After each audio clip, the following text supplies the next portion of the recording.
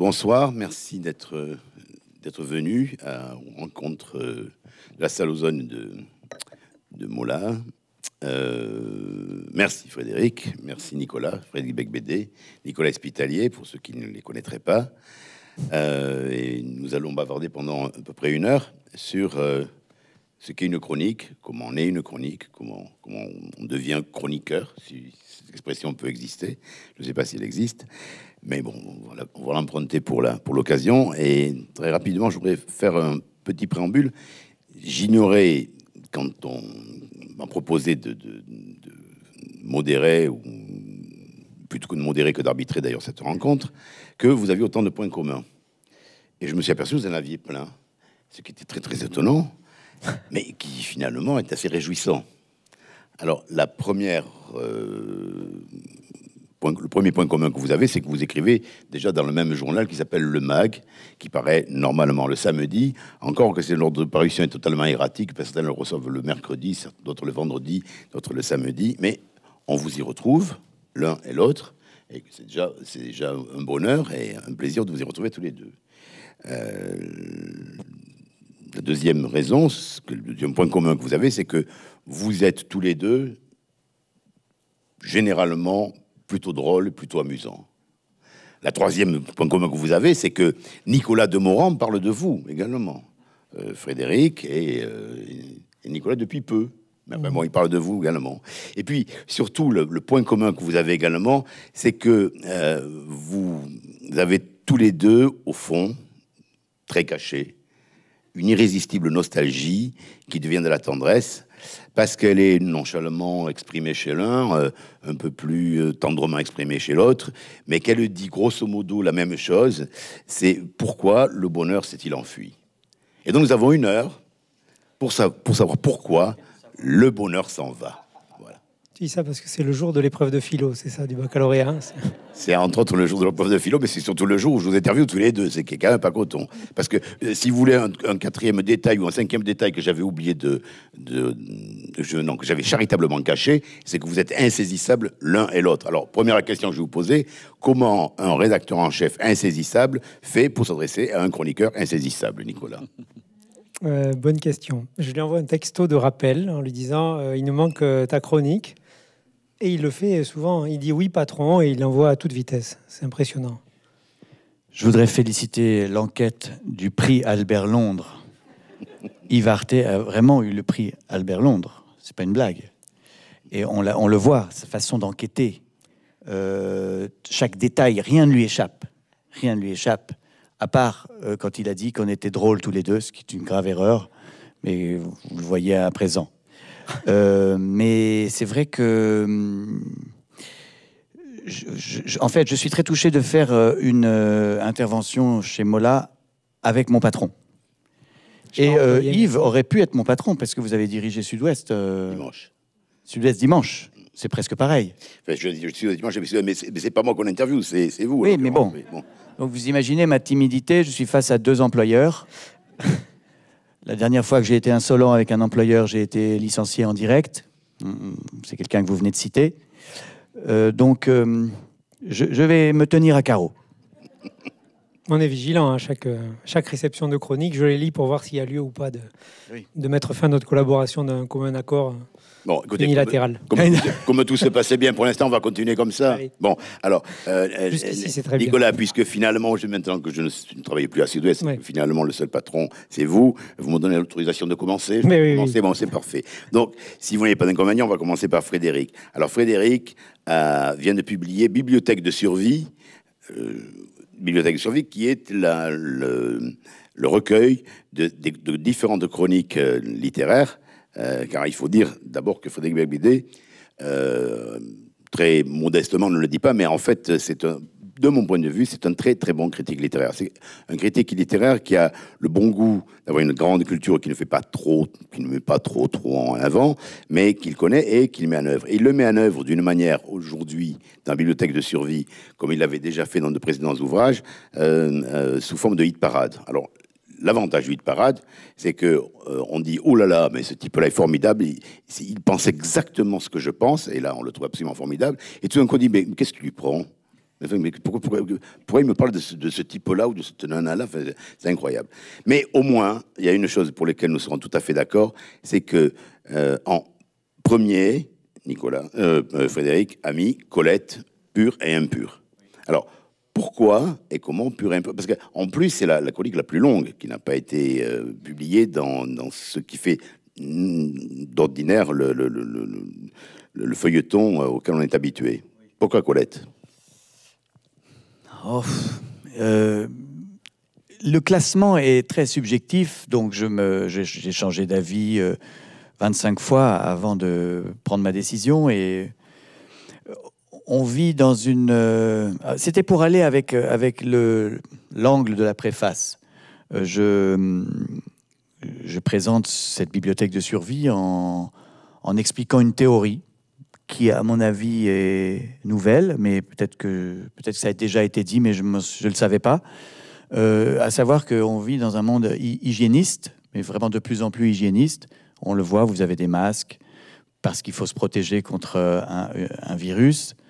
Donc hygiène physique, la santé, mais aussi hygiène mentale, euh, se protéger, protéger les citoyens contre tout ce qui pourrait les choquer, les blesser, leur faire de la peine, euh, les faire souffrir. Et donc voilà, cet hygiénisme-là euh, me fait peur. Et j'en parle au début du livre. Et donc c'était intéressant de conclure aussi sur un exemple de livre qui parvient à trouver une solution à cette question, tout simplement en ne choisissant pas entre la pureté et l'impureté. Colette euh, écrit ce reportage, elle n'a pas eu le prix Albert Londres, mais elle a essayé.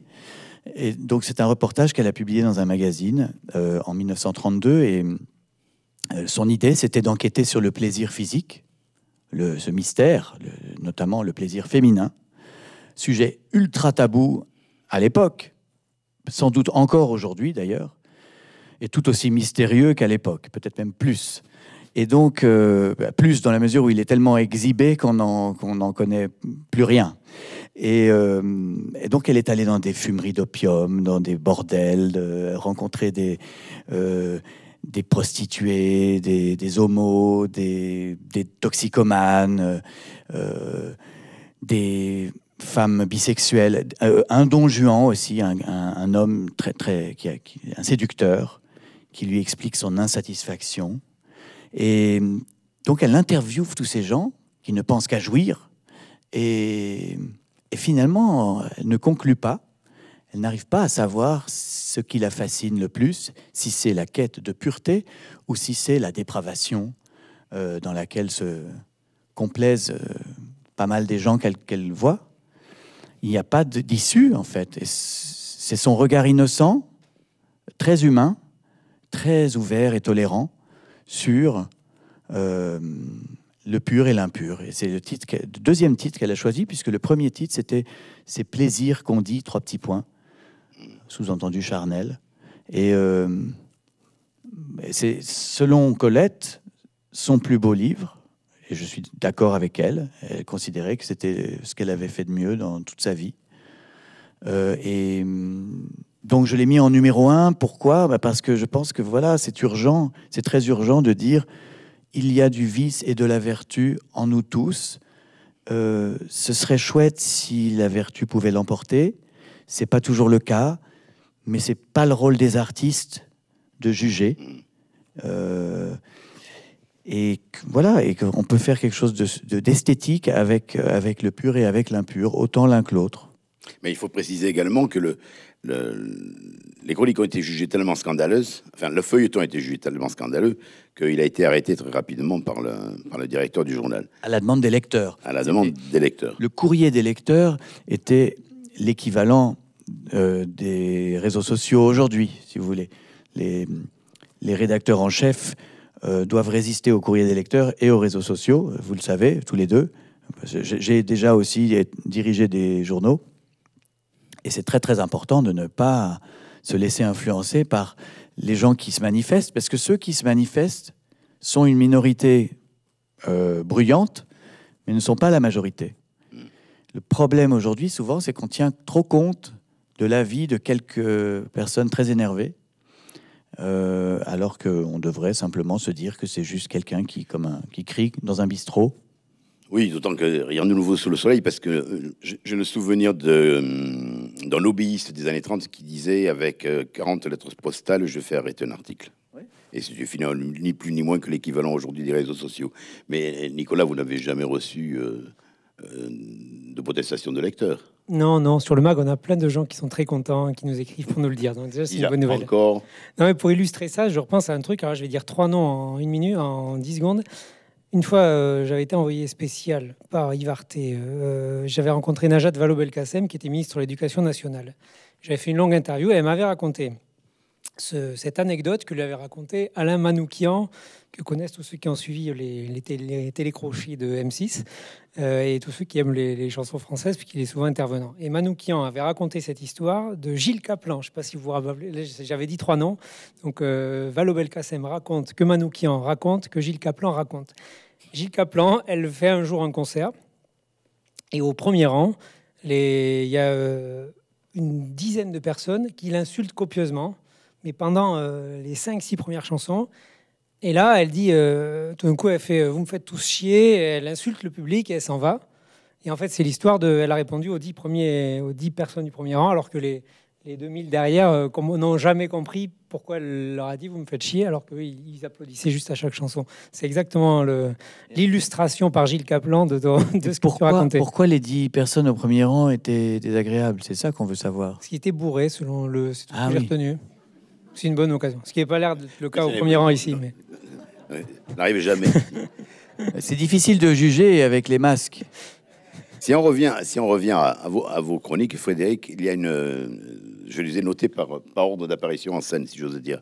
Donc, arrivons à la. Je reviendrai après, hein, mais arrivons à la 38, qui est. La 38, c'est la, la chronique, de mon point de vue, la plus drôle, parce que euh, elle raconte de l'intérieur ce qu'est un prix littéraire.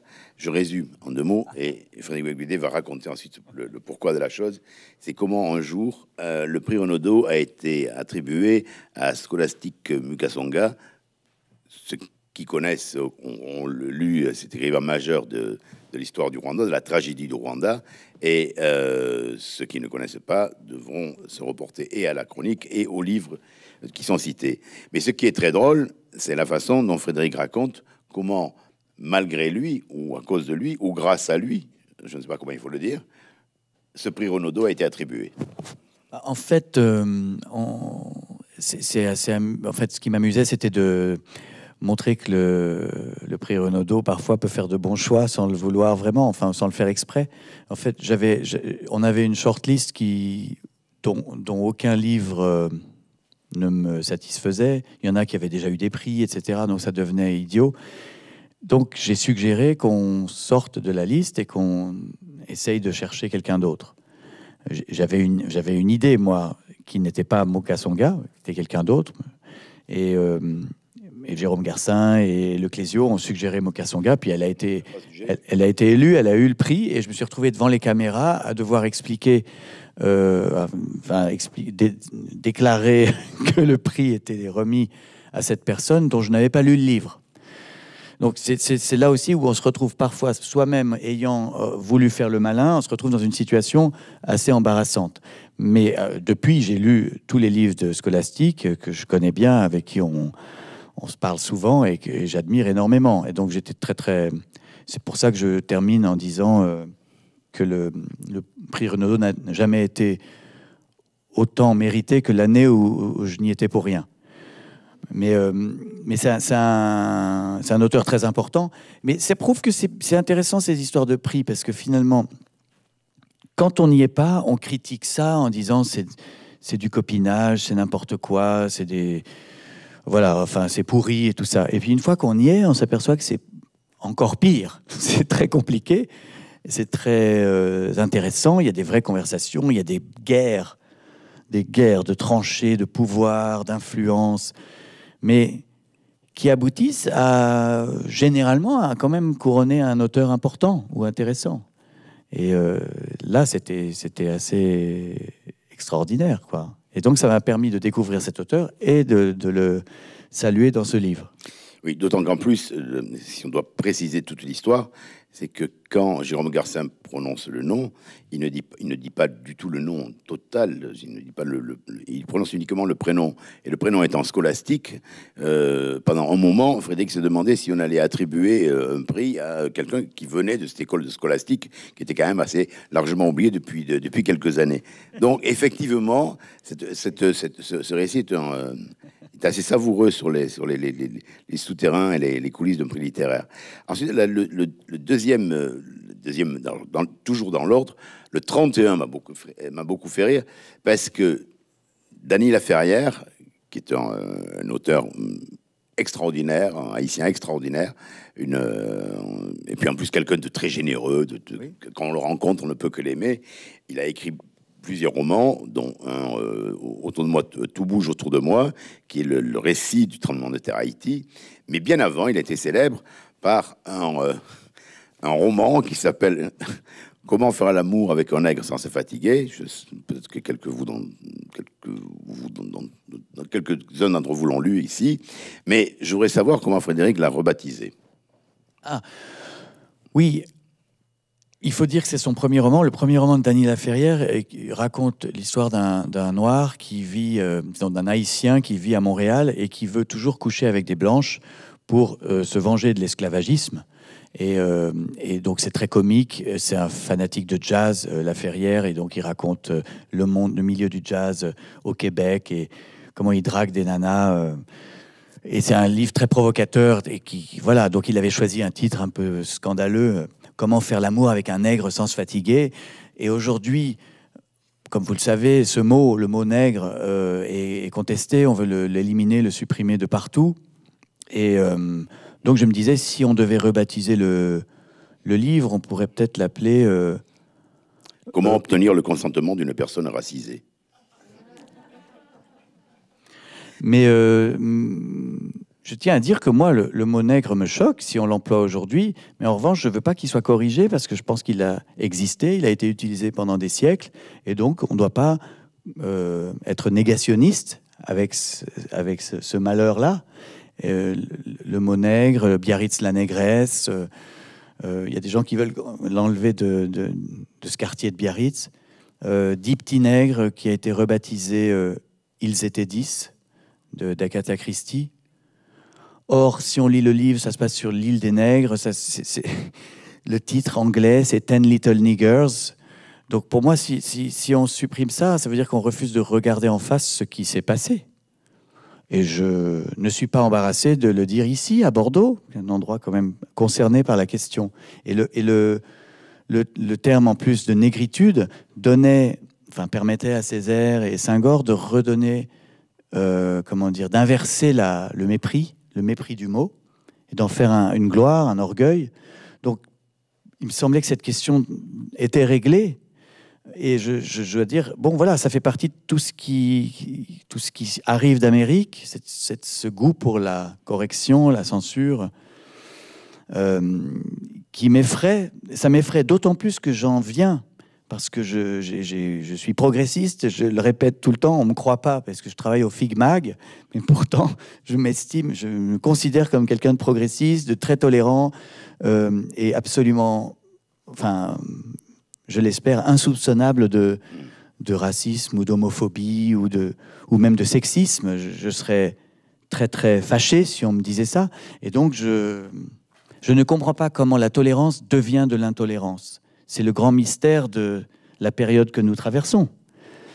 Maintenant, tout ça est très sérieux. On pensait qu'on allait s'amuser. Je pense qu'il faut se tourner vers Vertige Coquelicot, parce que c'est un titre, certes très poétique, un peu ridicule quand même, faut le dire. Il m'avait déconseillé. Alors là, on a eu un vrai débat sur ce sujet.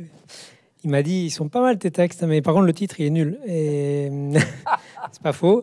Euh, et, et le ah, Non, mais Cela dit, Mais si, là, on commence à enlever euh. mes questions, je sais pas ce que je Eh fais ouais. ici. il veut Ah ouais, ton, il veut ton prix Albert Londres avec. euh, Non, non, mais Non, non, mais pourquoi ce titre, effectivement? Et euh, pourquoi pas le sourire de la Marguerite je suis à- Pourquoi pas?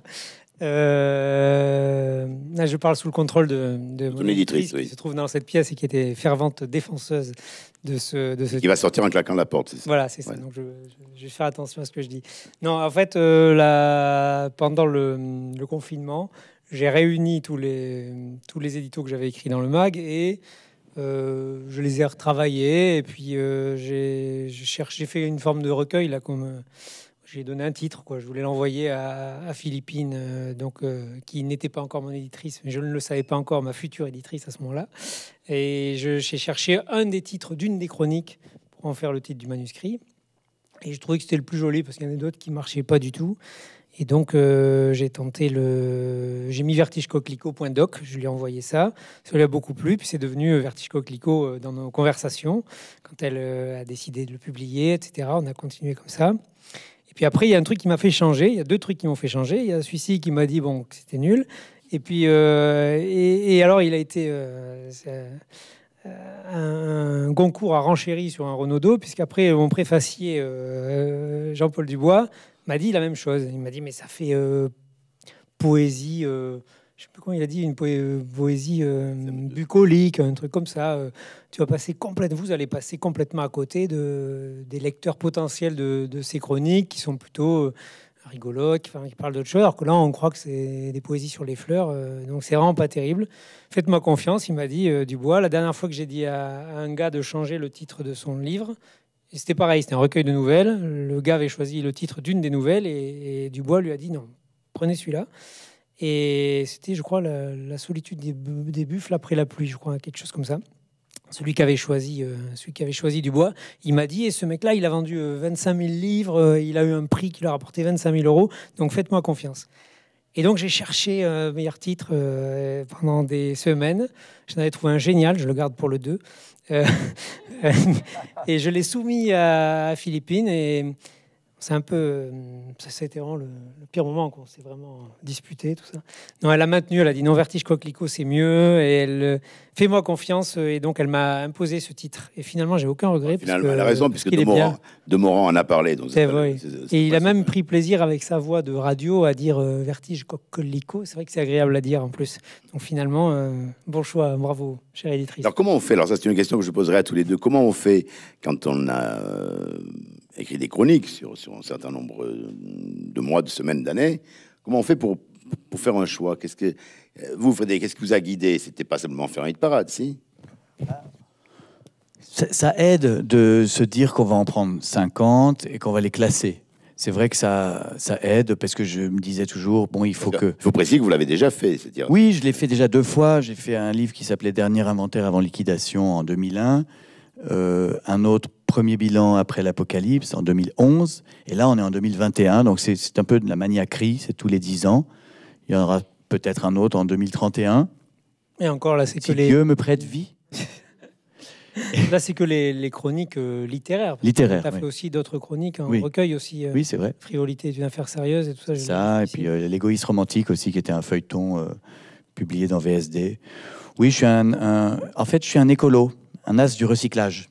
Ah, c'est malin ça. C'est mon truc. Moi, je, je trie les déchets. Alors voilà, j'ai voulu trier mes déchets.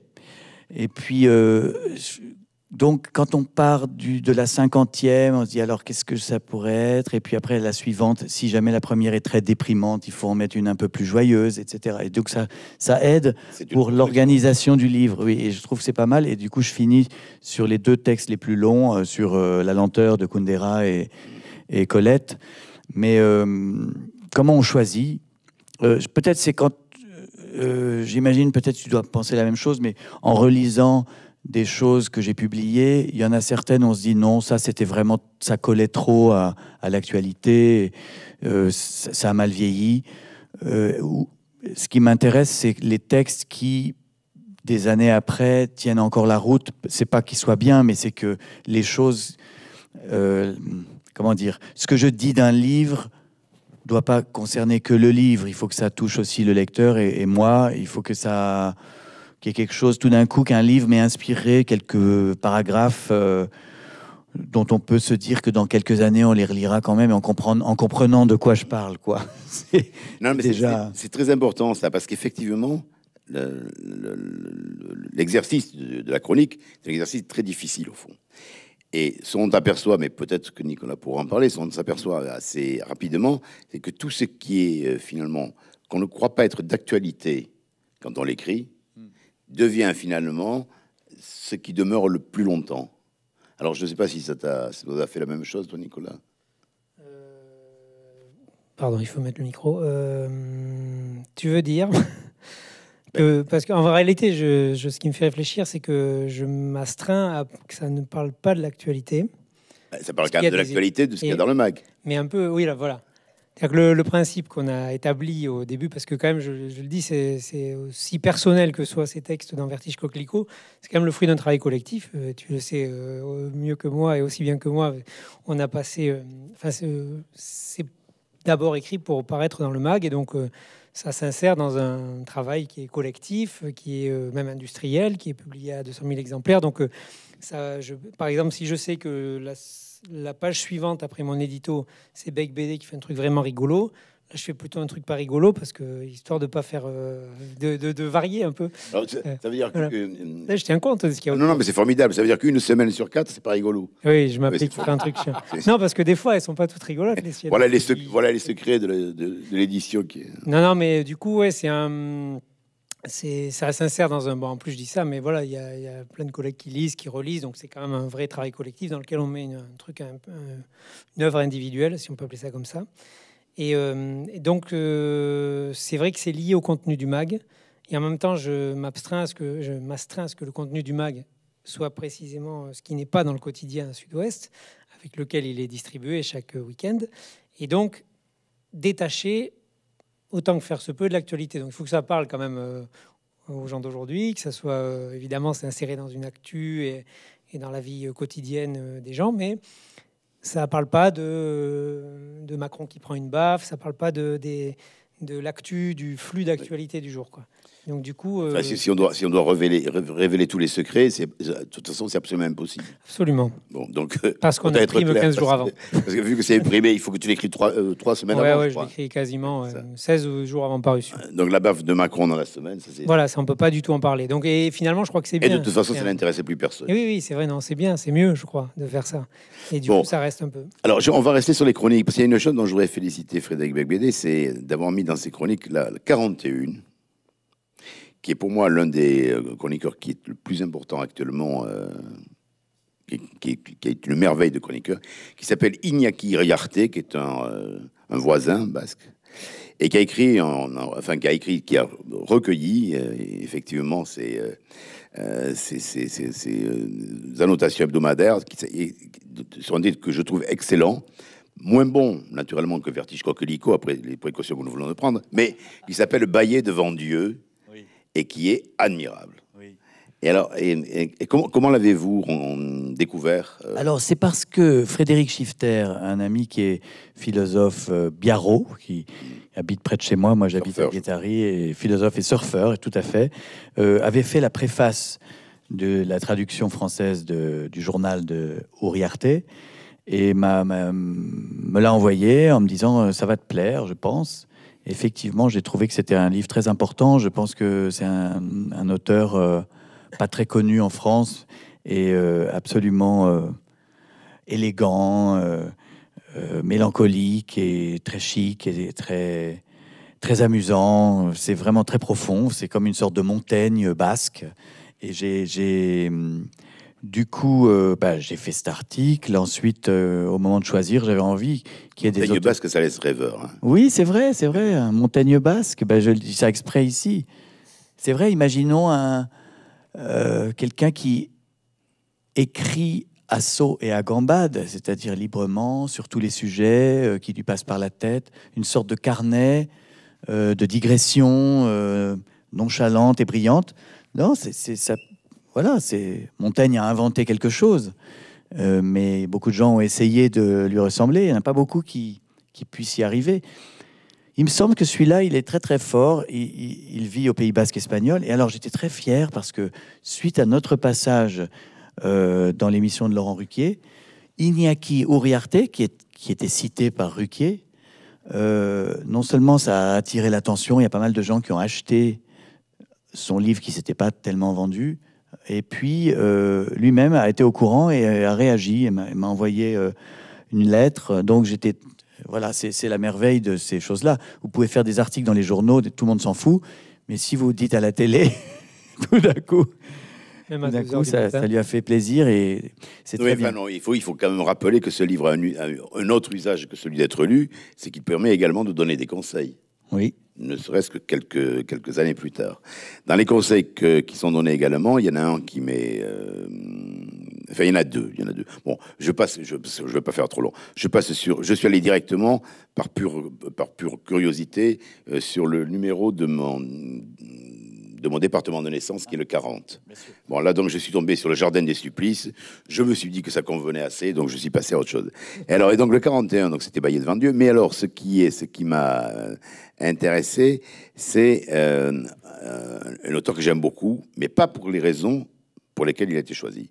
C'est euh, Otomurimbundia de Ramon Gomez de la Serna. Alors, Ramon Gomez de la Serna euh, a été traduit en français par euh, Valérie Larbeau pour ce qui, de mon point de vue, est son œuvre majeure, qui s'appelle Les. Mais ce que je voulais dire, c'est qu'il a été traduit avant Valérie Larbeau par un Bordelais totalement oublié qui s'appelle Louis Émier, qui était un poète bordelais. Et Louis Émier, tout jeune, à 20 ans, découvre euh, Ramon la Serna et le traduit. Euh, c'est un livre bon, qui, finalement n'avait jamais été traduit, qui, vient, de paraître. Mais j'aimerais que Frédéric nous parle un peu de, Ramon Gomez de la Serna.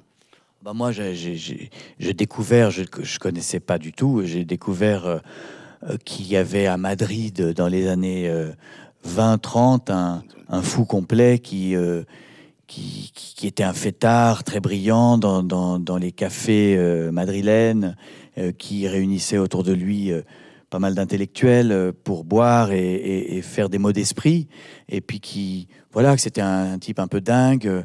Par exemple, il avait un soir, il avait découpé un, comment on ça, un, bec de gaz, enfin un lampadaire dans la rue. Il l'avait découpé pour le mettre chez lui pour avoir l'impression d'être encore dans la rue. Euh, et c'était un peu un, voilà, un, original, quoi. Et puis, euh, puis il y a eu l'arrivée la, des, fascistes, il y a la guerre, euh, la guerre d'Espagne, il a dû s'exiler, il est parti en Argentine et il a vécu toute, toute, la fin de sa vie là-bas. Et là, bah, c'était plus du tout la gloire, c'était la pauvreté, c'était compliqué, personne ne savait qui c'était. Et c'est là qu'il écrit ce livre de mémoire, Auto Moribundia, donc, qui veut dire quoi? Une sorte d'auto auto-moribonderie, si on veut traduire littéralement, enfin, sur euh, le bilan d'une vie. Et, euh, donc, il, raconte tout ça, toutes ces choses très drôles et très brillantes de ces grandes années. Et puis ensuite, une sorte d'oubli, de déchéance, d'exil. Euh, et c'est un livre où il y a, en fait, j'aime bien les livres comme ça, mais c'est pour ça que j'aime les essais, parce que c'est une. Vous lisez un livre et vous avez un homme, un homme entier, tout, le pour, le contre, le, euh, les hauts et les bas. Euh, vous, avez, vous avez les histoires d'amour, vous avez euh, la politique, la littérature. Des, il cite aussi, bien sûr, les Grégarias. Donc, il, était l'inventeur de ces aphorismes un peu surréalistes qui, qui, ont tellement plu à Larbeau. je ne me souviens pas de, de, tous, mais je me souviens d'un qui dit que le, la lettre L donne un coup de pied aux lettres suivantes. Il y a toujours des images très précises. Et euh,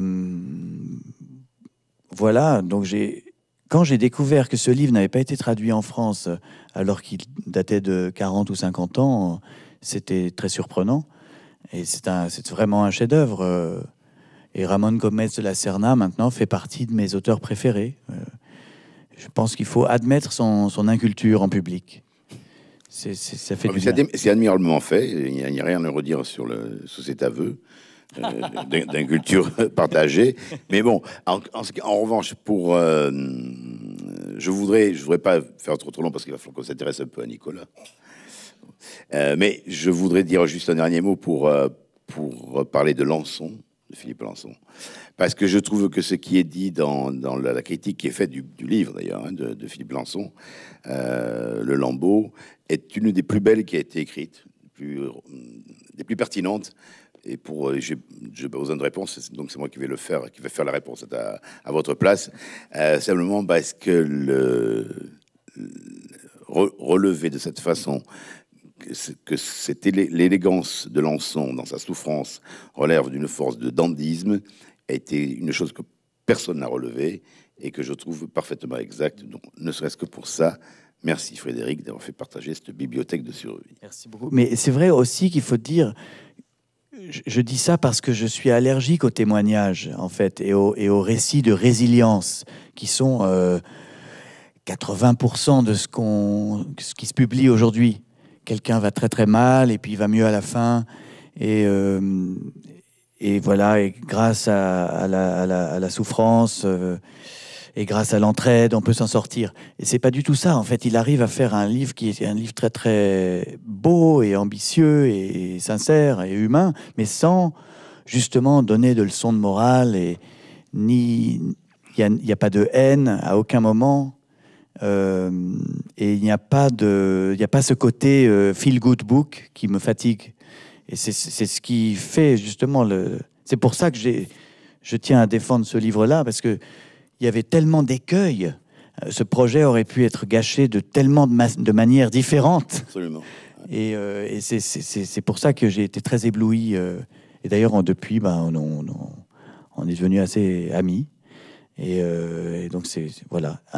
Peut-être le seul aspect positif de l'attentat du 7 janvier 2015, c'est de m'avoir fait rencontrer un- quelqu'un. Tu deviens souvent pote avec les auteurs parce que tu racontes avec tes sons là aussi que tu- Oui, euh, au début euh, il te plaît pas trop, tout ça, il fait son malin un peu et que vous Oui. êtes devenu pote aussi. Liberati, Ray dont tu parles, c'est aussi des Oui, copains. mais je- je- je- euh, oui, c'est intéressant ce que tu dis parce que c'est, euh, c'est- ça se passe mieux dans ce sens-là. C'est-à-dire quand tu lis quelqu'un et tu deviens ami par, par émerveillement, par admiration, euh, c'est mieux que quand Un ben, ami te file un manuscrit. tu- voilà, un ami te file un manuscrit et t'es dans la merde. Voilà, c'est plutôt ça. Mais euh, On rejoint l'esprit de ce dont nous allons parler, qui s'appelle le vertige coquelicot. voilà. Parce que le vertige coquelicot est exactement cette forme de pensée. Alors, moi, j'ai un problème avec vertige coquelicot, je vais le dire tout de suite. et Parce... pas le titre non plus, c'est ça? Comment? Tu n'aimes pas le titre toi non plus. Je n'aime pas le titre. Le ah, le titre? Si, je trouve admirable depuis que je sais que c'est Philippine euh, qui l'a choisi, qui, qui dont tenait des, des titres, je trouve ça admirable. Mais non, j'ai un problème, c'est c'est pas pour ça. Parce que j'ai entendu dire ou j'ai vu écrit que donc euh, Nicolas Spitalier devenait le nouveau Vialat. euh, dit. que c'était un SMP, etc. Alors, le problème, c'est que moi, il me rappelle d'autres auteurs que j'aime beaucoup, mais il me rappelle plutôt Veilleté, euh, il me rappelle plutôt Antoine Blondin, il me rappelle plutôt Philippe Muret. Et alors, ce qui est ennuyeux, c'est que euh, Nicolas Spitalier ne fait pas d'édito politique. Non, enfin peut-être que en un sens du mot peut-être, mais Voilà. Donc, alors, le problème, c'est quand même, c'est- ce style est de droite. Eh, je sentais venir Alors, celle-là. Nicolas, est-ce que le style est de droite? C'est marrant, j'ai lu, j'ai lu pas mal de trucs à ce sujet. Ouais, disons que j'ai lu quelqu'un dire. Non, il y en a.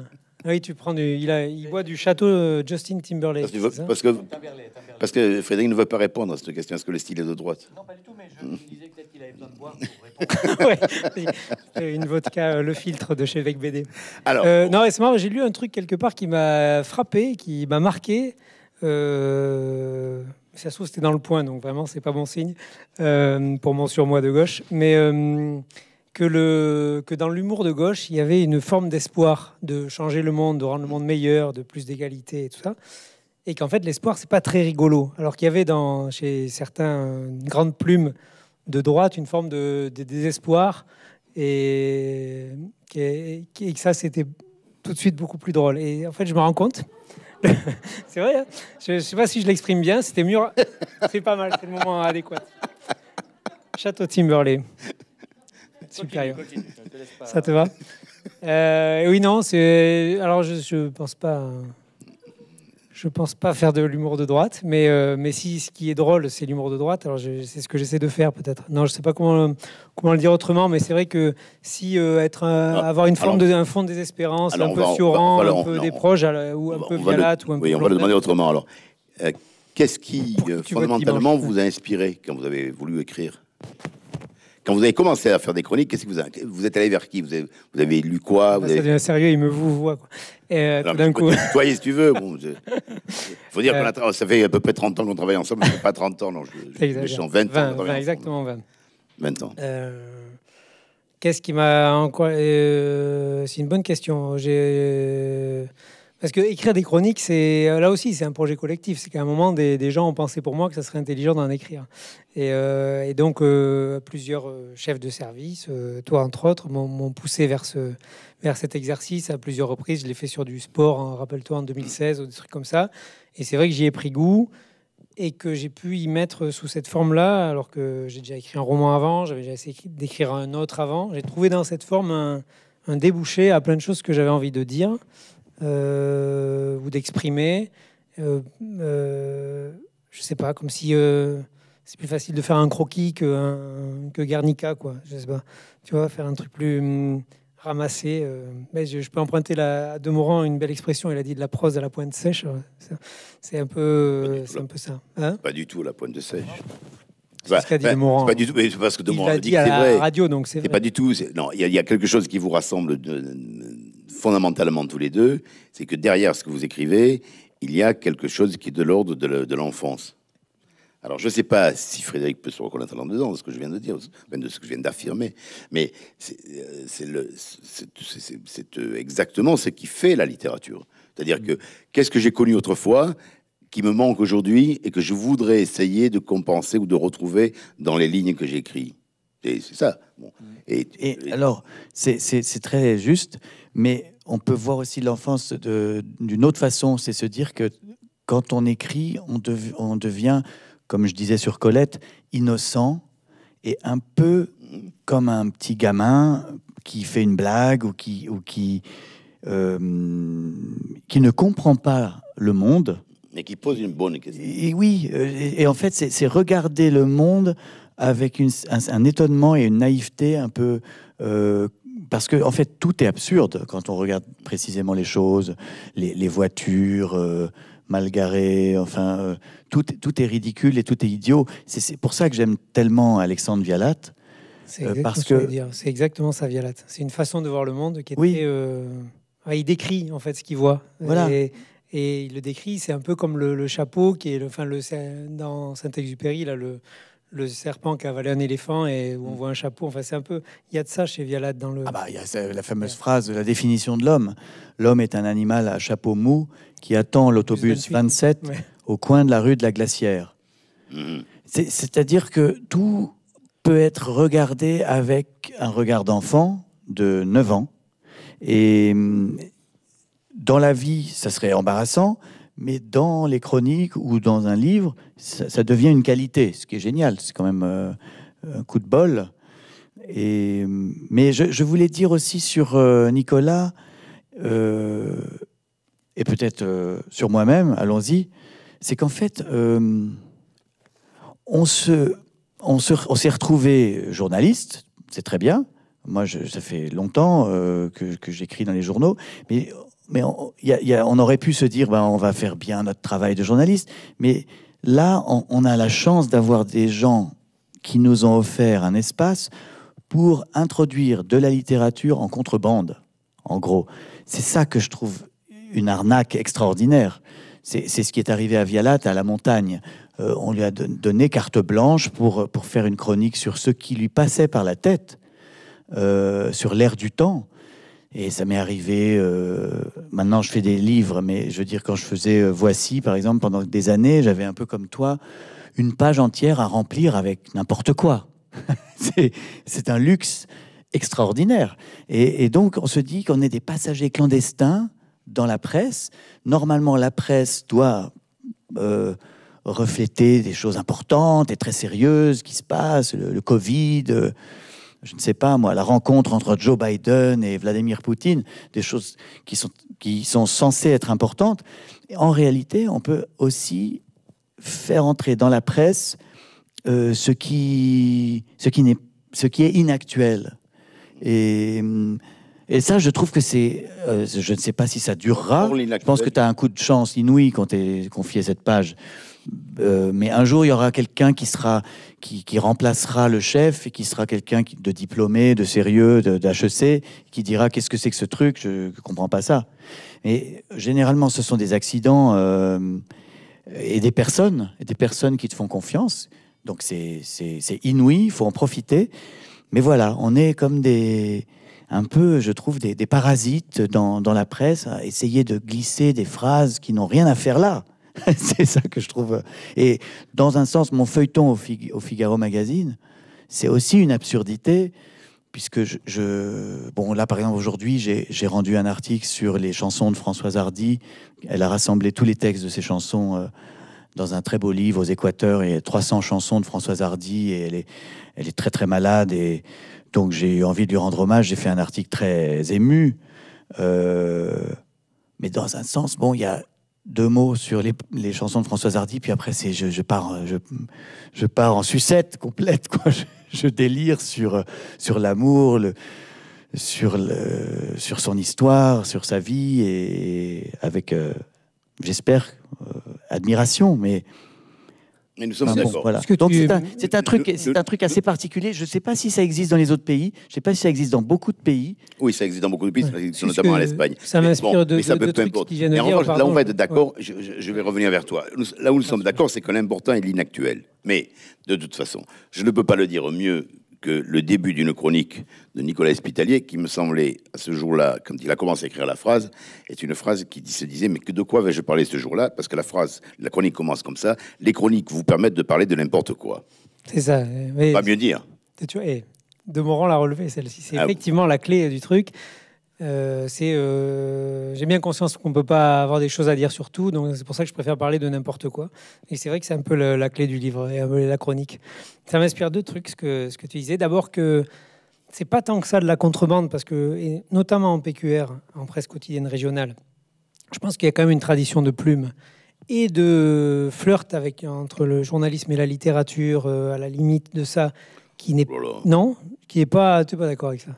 Non, mais Si, c'est pas. Si, je suis d'accord avec ça, mais bon, mais, je- Oui, mais il y Non, a- mais je suis d'accord avec ça, mais je veux dire, il y a- toute éternité, il y a Ah, je suis d'accord avec ça, mais le problème, si on doit parler de ça, c'est qu'il y a très peu de journaux qui l'autorisent et il se trouve. Oui. Et là, pardonnez-moi, euh, cher public, mais je vais faire un excès d'immodestie totale. C'est que Sud-Ouest l'autorise depuis très longtemps, et notamment depuis 1944. C'est-à-dire qu'il y a toujours eu euh, une tradition qui s'est exercée selon des différents noms que je ne vais pas nommer ici, et dont la dernière, euh, le dernier nom connu s'appelle Nicolas Espitalier, et ça a toujours existé. Mais ce n'est pas n'importe quel journal qui, qui- qui le, qui le permet.